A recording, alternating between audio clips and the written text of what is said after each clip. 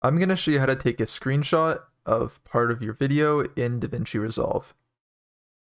So if there was just a specific frame that I wanted to take a screenshot of, what I'm going to do is go down to the bottom and select the color option.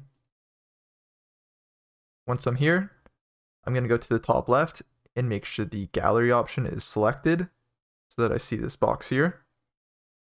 After that, I'm going to come to my video and I'm going to scroll and find the frame that I would like to capture.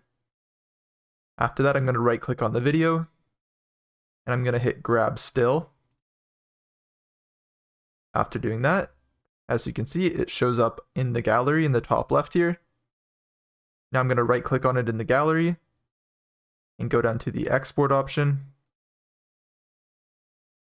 From here, I'm going to select either a folder or a spot that I'd like to save it to.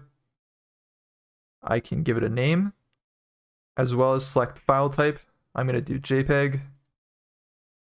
After that, I'm going to hit export. And it's then going to export that image to my computer. I hope that this video helped you guys out. Please remember to like and subscribe.